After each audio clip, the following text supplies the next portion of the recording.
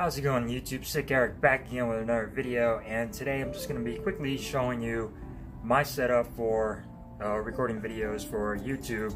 Uh, pretty simple setup. Uh, I sort of made it myself and uh, I just wanted to share this with you guys on what I use to make my videos with. Nothing fancy, you know, I don't have no high-tech, you know, camera or anything. I pretty much just use my phones, whatever phone that I'm using at the moment and uh, whatever phones I have and a desk and my setup that I made, a little rig. That way I could get these awesome over the head shots uh, that you see in my videos. So let's go ahead and jump down into it and I'll go ahead and show you my setup on what I use uh, and also like what apps I use to make videos with just to give you an, guys an idea of what I use and how I make my videos. So let's go ahead and jump down into it.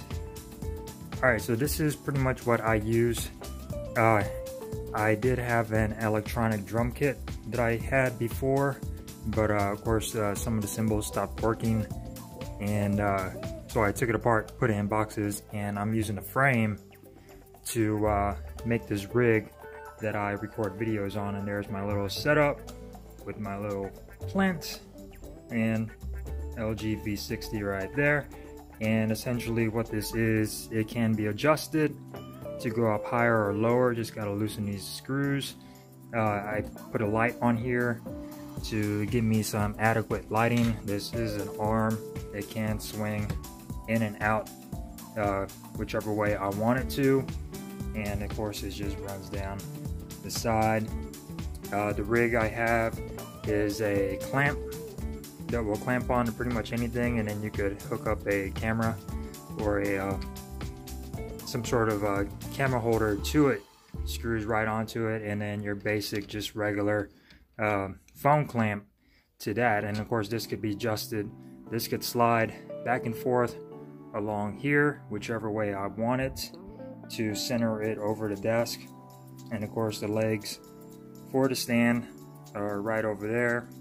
Of course I have a tripod as well that I use to record videos with and uh, this is pretty much the setup that you would get if I were to put this into the camera holder and it gives you this awesome over the head setup. And as far as apps that I use I pretty much use Power Director to do any of my apps with, which is a really cool uh, editor that I just you know like to use a lot. You have a whole bunch of different options, you know, to create video and effects, add pictures. Um, you just got to go to you know your camera gallery. You could add background music if you want. You can do all this kind of stuff with Power Director, and so far this is the best app that I've seen to uh, do this with. I've tried a whole bunch of other apps and just really didn't like them or they were too much to buy and they give you that little watermark. And then if you want to produce a video just go ahead and go in and you could produce it either in 4K 1080p 720 or standard 360 which I don't know why anybody would want to do that. I recommend going uh, 1080p uh, or higher maybe 4K 30 if you're not doing anything that moves around a lot like say a video like this you could get away with 4K 30 or 1080p 60, whichever. They are both very adequate for YouTube uh, consumption and for content. And as far as you know, editing my thumbnails, you know, I just did a thumbnail right here. I use a thumbnail maker. I'll post this in a link down below. So really, really cool editing app for making thumbnails. You just choose the picture and then you crop it and then you could go ahead and add text to it so blah. And then you could add it and then you could also change the font the color space what color you want the text in shadow outline if you want an outline on it you could change the outline uh, thickness and then you just go ahead and hit download. You could add uh, stickers to this so if you want to add some stickers or like what I used like adding is you know subscribe down in the corner of my thumbnail. But uh, there's a whole bunch of different stickers you add on here. You could add some arrows, uh, bubbles if you want. There's a whole bunch of stuff you could add on here. you could add an effect to give you sort of a different effect to your thumbnail and then you could also change the background if you wanted to as well for that if you're you know of course the picture you're using isn't covering up the whole area you could use a background as well. So really really cool app. Uh, I use this a lot pretty much on every video that I've got.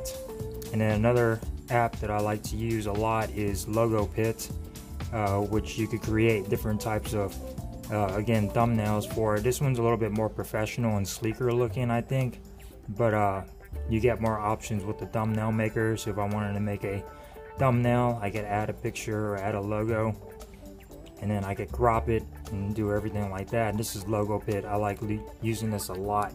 But uh, this is pretty much my setup that I use uh, to record my videos. Uh, nothing fancy like I said. Uh, I have a microphone up here if I need to use a mic. Sort of hooked on right there. Um, sometimes it works okay, sometimes it doesn't, but this is pretty much my setup, my desk area that I use to do my videos on. And yeah, hopefully it ain't too uh, hoopty for you guys, but this is what I use and so far I like it a lot. Uh, this can lift up and I can move it out of the way, out of the desk if I wanted to, just to get it out of the way. Of course, the uh, tripod goes over there. I sort of use this area as a background if I do any videos, just because, you know, it's a nice background. But uh, as far as anything else, I probably would want to get some uh, soundproofing pads to put on the wall just to help with the echo. And that's pretty much it.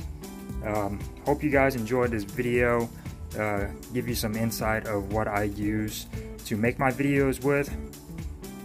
And yeah, this is pretty much what I use. Everything, of course, is fairly inexpensive, other than, of course, this coming from an electronic drum kit. Drum kit was expensive, but of course, it's not working anymore. So I used it to make my rig. The clamp, very inexpensive, under 20 bucks. The uh, phone clamp, again, under 10 bucks, I believe, maybe 20 bucks plant was really cheap. It was like, I think, seven, ten dollars or twelve dollars. I'm not sure. Of course, the pad uh, you can find on Amazon really, really cheap. I think this pad was like 20 bucks, if I'm not mistaken. Uh, the light, of course, is just a regular uh, LED light that I have on there. So nothing really fancy.